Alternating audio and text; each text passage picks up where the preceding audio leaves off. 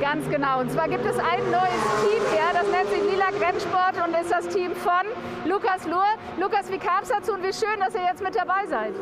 Ja, wir haben, äh, der Ricky und ich, wir haben uns überlegt, wir wollen mal was Eigenes machen. Äh, das hat sich jetzt ergeben. Wir waren natürlich äh, sehr gut. Genau in der Corona-Zeit äh, haben wir uns entschlossen, ein eigenes Team zu machen oder schon vorher. Und dann kam Corona. Ist halt ein bisschen dumm gelaufen. Wir machen jetzt Beste draus. Wir sind jetzt überhaupt das allererste Mal am Start hier in der GTC, auch mit unserem Team. Und ja, läuft ganz gut bisher. Noah äh, führt die Klasse an. Und äh, ja, wir, wir freuen uns einfach hier zu sein und hoffen, da kommt in Zukunft viel, viel mehr. Ja, super. Wir freuen uns auch mega, dass ihr dabei seid. Vielen Dank, Lukas, und zurück zu euch.